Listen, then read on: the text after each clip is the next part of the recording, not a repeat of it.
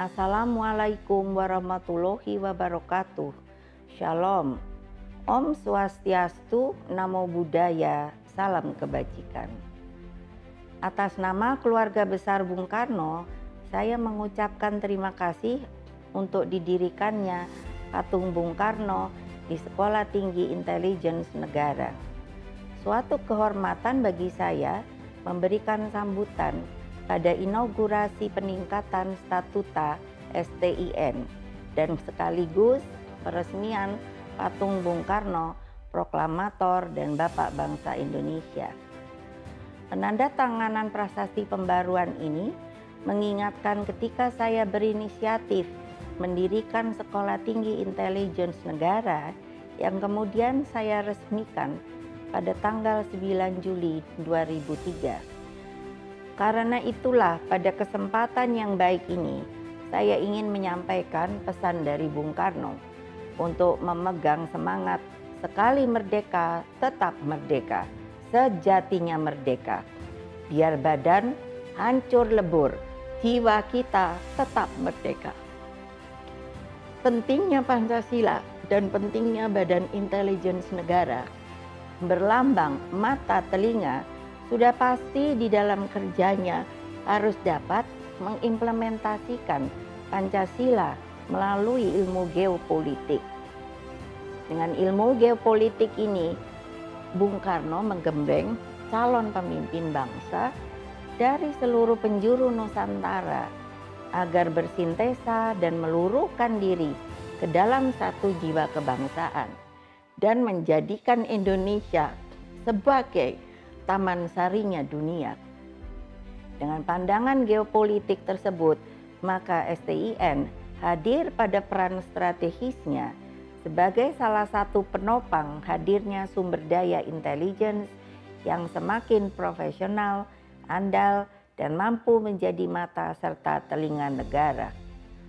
Kemajuan STIN terlihat dari kemampuan taruna-taruninya Gita Sandi Astara, Gita Mahasuara Orkestra, dan Gita Suara Nanta Khoir yang tampil kompak dalam harmoni Orkestra Nusantara penuh keagungan bagi Ibu Pertiwi.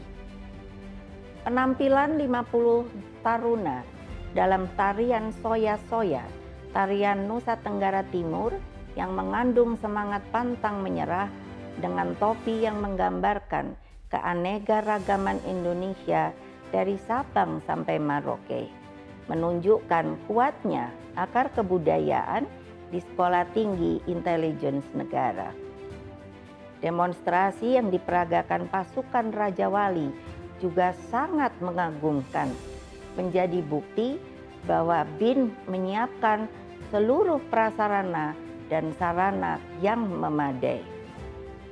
Saya yakin setelah purna didik, taruna-taruni STIN sepenuhnya siap melaksanakan tugas, bahkan siap mengorbankan jiwa raga demi keutuhan Pancasila dan negara kesatuan Republik Indonesia.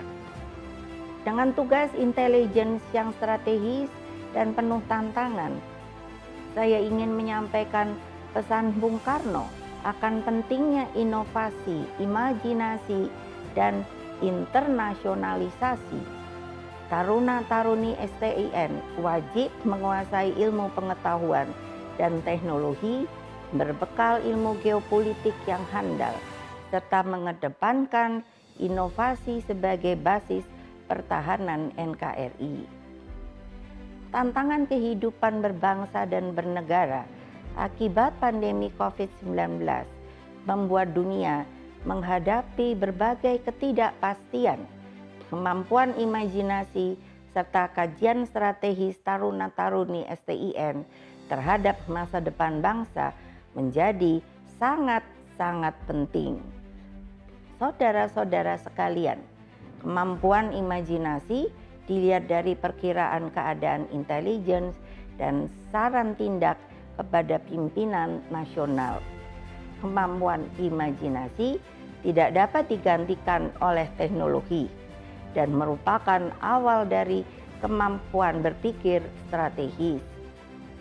Sedangkan aspek internasionalisasi beberapa dekade lalu, para analis mengatakan bahwa ancaman terbesar bangsa Indonesia adalah dari dalam negeri.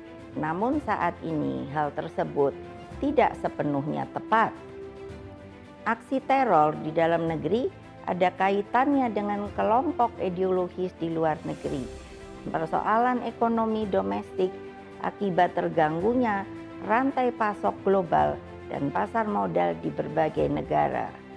Untuk itulah STIN harus menyiapkan taruna-taruninya agar mampu beroperasi di dalam dan luar negeri, mengantisipasi berbagai ancaman nasional yang semakin kompleks dengan kemampuan yang imajinatif dan inovatif. Selamat kepada Kepala Badan Intelijen Negara Jenderal Polisi Profesor Dr. Budi Gunawan SH MSI atas segala prestasi yang telah dicapai BIN dalam masa kepemimpinan saudara. Teruskan. Semoga Badan Intelijen Negara sebagai lini terdepan keamanan nasional akan selalu berhasil dalam mengemban misi mulianya. Sekian dan terima kasih. Wassalamualaikum warahmatullahi wabarakatuh. Om Santi, Santi, Santi Om.